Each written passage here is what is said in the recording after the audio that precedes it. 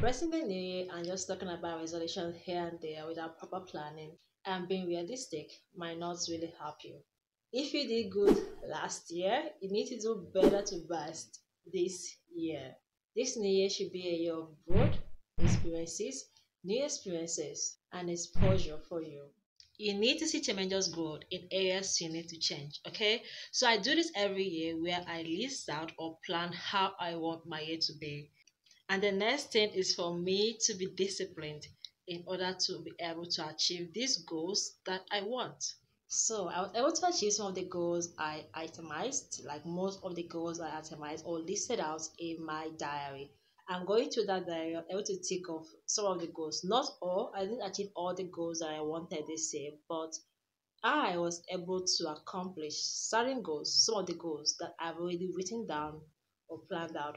And even I have to write that in my diary, new goals that I was able to accomplish. So beginning of the year, I started off with focusing on a particular skill and learning everything I need to learn about it. And in the process, I also took a leap in career transition. Now, the highlight of it for me was interning or taking up the opportunity to intern in that role, and that was a whole learning experience for me.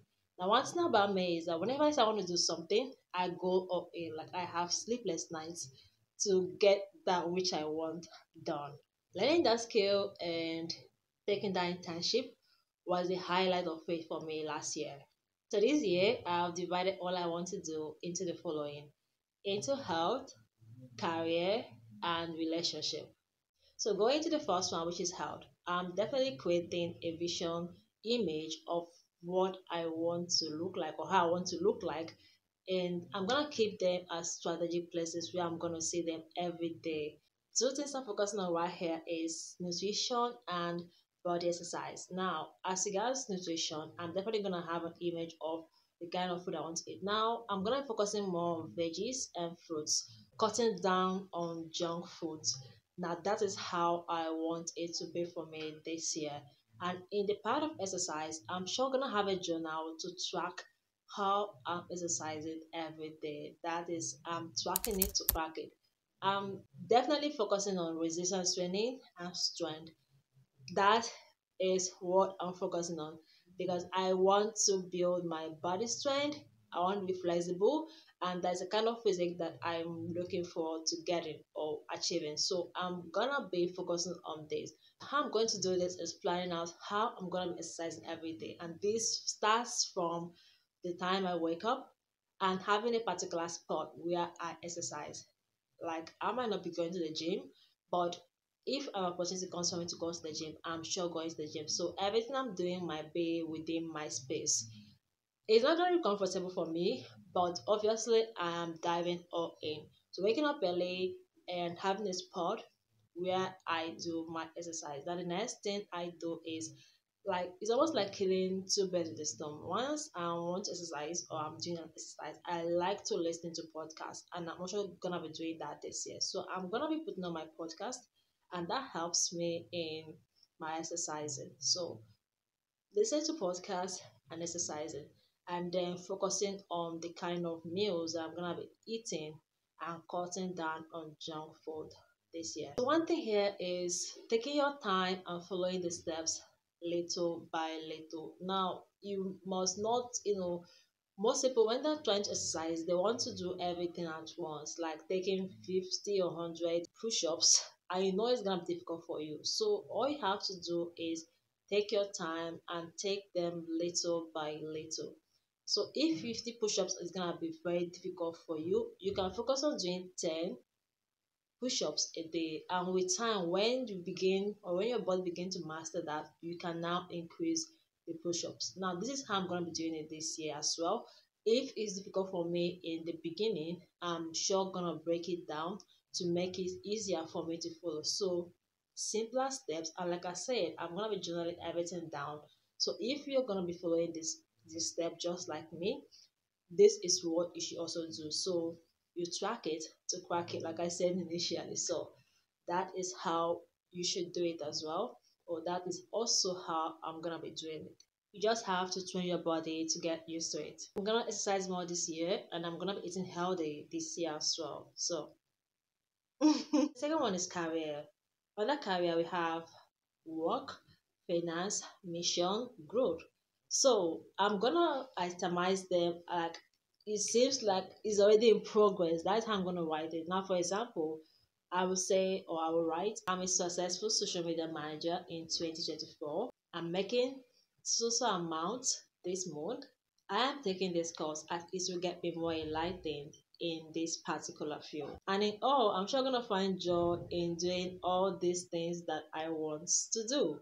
So I'm gonna make daily and weekly plans on how I want everything to roll out, on how I want my day to be as regards my career. So this also entails the work that I do, how I'm gonna do them my plan for the day, what comes next, when it comes to my work, when it comes to the course I have to take, when it comes to learning, when it comes to my personal brand. So I'm definitely gonna list out or plan out how I'm gonna do all this every day, every week, and I'm sure gonna keep a record as regards all this. I'm going through them daily. It's all gonna be in my journal and also a planner. So if you want to follow through, you should make sure that you get a journal and get a planner to help you plan out how you want the day to be, how you want it to go, things you want to do during the day. So if you have it all planned out and have it all handy with you, it helps you to know what to do, what next to do, and have or flow through with the time. That will help you form a habit. And if you stay consistent with it in the first one week, two weeks, three weeks, you will sure get used to it. So that is how I'm gonna be doing it, or that's how I'm gonna be planning it as regards this particular area of my life. That is in the career area of my life. So I'm sure having out or itemizing everything I'm gonna do and then planning it out in a way that is gonna be easier for me to follow through and not have lapses. Okay. So everything is gonna be going as regards or according to the goals that I have and my vision as well. So the next is relationship. And under relationship we have spiritual relationship with God, family, friends, and the way I want to nurture these relationships is let me say it was great last year, but this year I want it to be best. I want it to be more than best. Now, as regards spiritual relationship with God, I want to have a very deep deep, deep connection with God. And I've already kind of written it down on how I want it to be. So it's gonna be like a repetitive daily routine and which is always is gonna be like a habit for me. So I wanna build this deep connection with God and I've already written down how I want it to be, which entails the way I pray and how I pray, even the time that I pray. Like morning and evening cannot be missed out. Yes, yes. So I've already written down my prayer life and how I want it to be this year, starting from the first quarter. So having a devotional is also gonna help. So if you also want to build a great relationship with God, having a devotional, your Bible, and having a gratitude journal is sure gonna help you if you're planning on building a strong relationship with God. And as regards friends and families, spending more time with my friends this year is sure gonna be a goal, including my family as well. And if I spend like 50% with my family, I'm gonna spend like 80, 90 to 100 percent of my family this year. And even if my siblings might be staying close together, I will definitely find a way to reach out to them. And as regards my friends,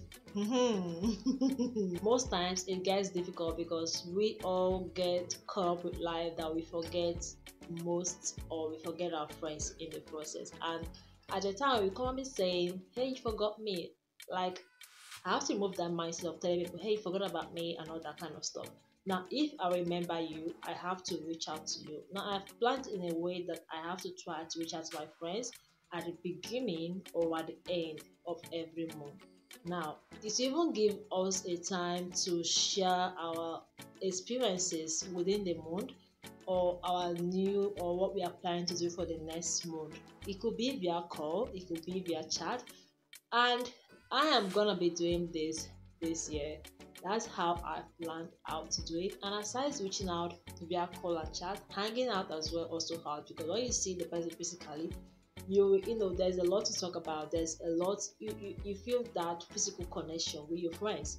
You get so that is how it's gonna be for me this year. Connecting with my friends.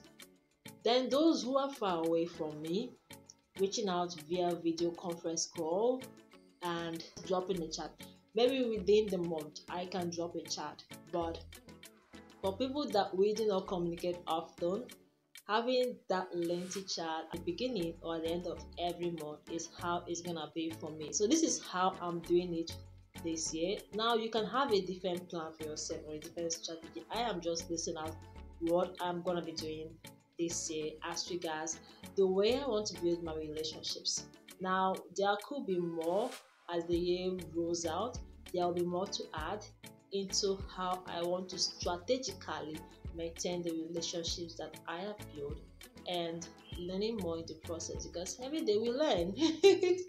yeah, so this is how I'm gonna be doing this. You might have a different plan for yourself. I'm not saying you should do what I'm doing, I am just sharing what I am gonna be doing this year in maintaining the kind of relationships that I have and connecting more with people. Now, it's not just looking for people to connect with. How about the ones you're connected with? How are you maintaining the relationships with them?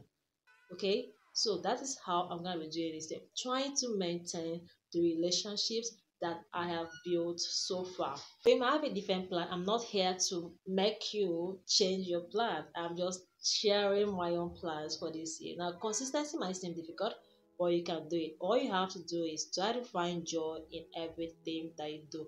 Now, as you regards planning, you need to have a planner or a journal or a diary where you can write down things. That helps make it handy.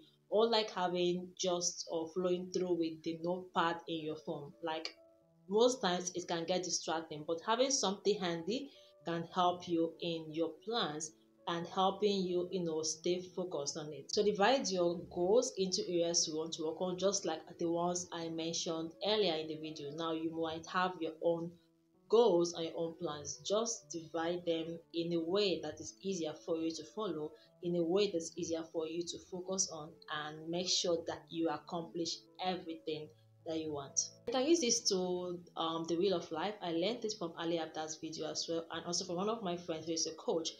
Using this tool can help you know areas to improve on.